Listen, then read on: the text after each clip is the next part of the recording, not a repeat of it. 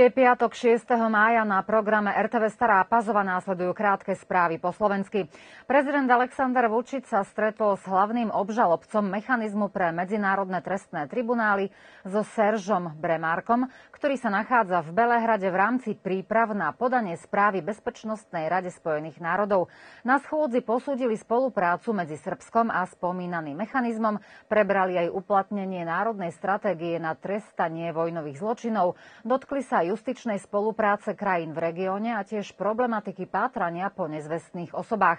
Shodnotili, že spolupráca je na dobrej úrovni, že spoločné programy vo forme školení boli užitočné a Vučič dodal, že aj napriek neshodám v niektorých otázkach aj naďalej bude Srbsko pristupovať k tejto spolupráci zodpovedne a seriózne. Strategickým cieľom a prioritou Srbska je členstvo v Európskej únii. Povedala to dnes premiérka Srbska Anna Brnabičová vo Florencii na stretnutí venovanom situácii v únii a dodala, že to platí pre celý región Západného Balkánu. Podľa nej čím skôr sa tak stane, tým lepšie. Povedala to v rámci diskusie s názvom Kríza a zmeny Európska perspektíva Západného Balkánu, na ktorej sa okrem iných zúčastnil aj špeciálny vyslanec Európskej únie pre dialog medzi Belehradom a Prištinou Miroslav Lajčák Polčák či rakúsky minister zahraničných vecí Alexander Schallenberg. Premiérka uviedla, že Srbsko vložilo mnoho času a úsilia, aby implementovalo reformy a tie sú v záujme občanov. Od 1. mája v Srbsku platí nový model tzv.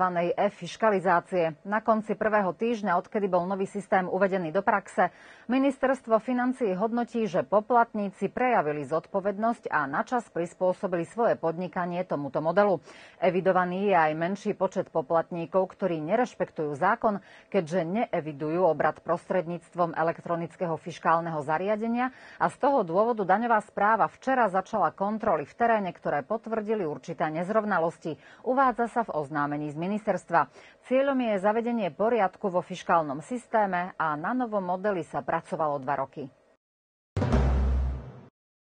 Rada pre bezpečnosť dopravy obce Stará Pazova zverejnila, že je ukončená výzva o bezplatnom udelení autosedačiek pre deti, ktoré sa narodili v období od 1. júna do 31. decembra minulého roka. Tí rodičia, ktorí prejavili záujem a prihlásili sa, budú pozvaní na udeľovanie sedačiek podľa následujúceho harmonogramu. V pondelok 9. mája o 11. hodine sa sedačky budú udeľovať v Starej Pazove, v sále Bielej budovy, a to pre deti zo Starej Pazovy a Golubiniec. V útorok bude na rade Nová Pazova o 11. hodine v základnej škole. Sedačky budú udelené pre deti z Novej Pazovy, Vojky a Krneševiec. V stredu rovnaká akcia bude prebiehať o 11. hodine v Nových Bánovciach pred Domom kultúry, kde autosedačky dostanú deti z Nových a Starých Bánoviec, Belegiša a Surduku. Včera po obede sa v Novom sade v priestoroch Národnostnej rady Slovenskej národnostnej menšiny konalo 8. zasadnutie výboru pre vzdelávanie. Zasadnutie viedla predsedníčka Tatiana Naďová a v úvode prítomných privítala predsedníčka Národnostnej rady Libuška Lakatošová, ktorá odovzdala rozhodnutie o menovaní novej predsedničky výboru pre vzdelávanie. Popriala jej pritom veľa úspechov.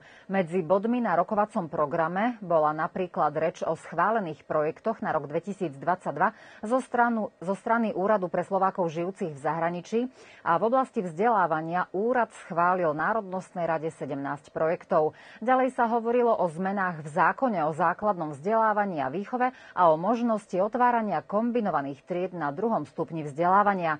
Schválili text novej výzvy, ktorá sa týka udelenia finančných prostriedkov v oblasti vzdelávania pre materské základné a stredné školy. Celé znenie je zverejnené na oficiálnej webovej stránke Národnostnej rady výzva je otvorená do konca mája. Ďalším bodom bola aj organizácia odborného zdokonaľovania pre učiteľov. Na závere rozhodli, že aktív riaditeľov škôl s vyučovacím jazykom slovenským sa uskutoční v Kovačici 16. mája.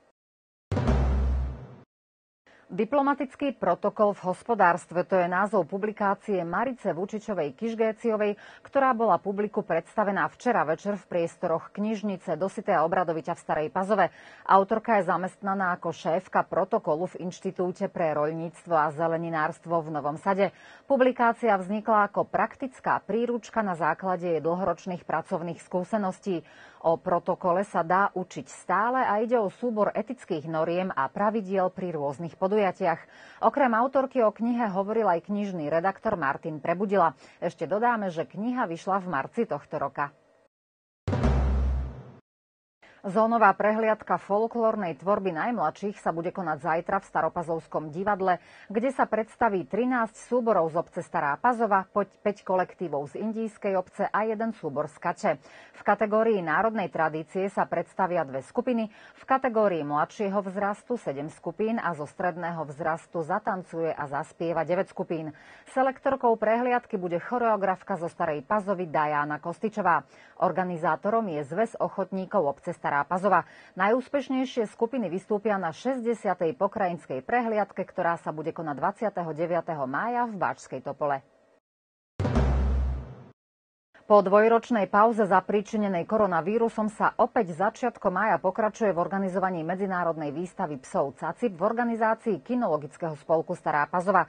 Výstava sa bude konať už zajtra 7. mája v Starej Pazove na tzv. rasadniku a prihlásený je veľký počet vystavovateľov. Podľa slov predsedu Kinologického spolku Simišu Sáviťa táto súťaž sa u nás pred koronavírusom konala už 9 rokov. Zároveň pozýva všetkých milovníkov štvornohých miláčikov, aby sa vybrali vybrali na, vych- na vychádzku na rasadnik a bude čo vidieť až 200 rôznych rás psov. Slávnostné otvorenie je zajtra o 10. hodine a o titul najkrajšieho psa bude súťažiť početná skupina psov z celého regiónu. Dávame vám do pozornosti výstavu obrazov, ktorá sa bude otvárať v galérii Mira Brtka v pondelok 9. mája.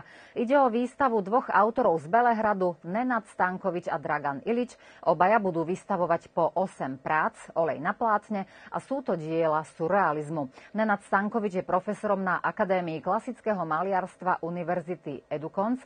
Narodil sa v roku 1965 a jeho kolega Dragan Ilič sa narodil v roku 1962. Mal Maliarstvu sa venuje od roku 1990 a je predstaviteľom smeru fantastiky a magického realizmu. Vernisáž výstavy bude v pondelok o 19. hodine. Vstup je voľný. Pondelok kvôli plánovaným prácam na vodovodnej sieti je naplánovaná odstávka vody v Novej Pazove. Pôjde o kompletnú sieť v priemyselnej centrálnej zóne v časti Nová Pazova Lidl a bez vody tu užívateľia budú od 8. do 15. hodiny.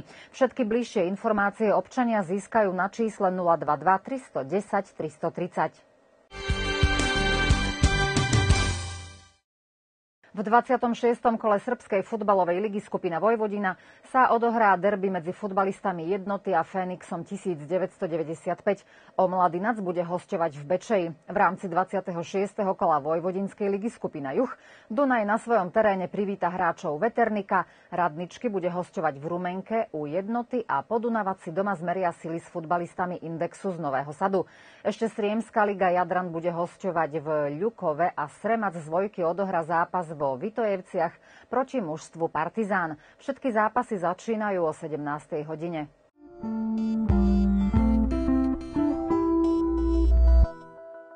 Víkend bude príjemný, teplý a suchý. Obidva dni polooblačno, v sobotu veľa slnka a mierna oblačnosť. V nedeľu naopak bude prevaha oblakov. Teploty od 11 až 13 po maximálnych 25-26 stupňov. Vietor zafúka z východu, v sobotu mierne, v nedeľu slabšie. A ešte meninová rubrika, tá je bohatá. Dnes oslavujú sviatok mena Hermína, Mina. Zajtra majú meniny Stanislav a Monika a v nedeľu oslavuje Milutín, Ingrid a Ines. Všetko najlepšie. Piatkové správy končia príjemný zvyšok dňa.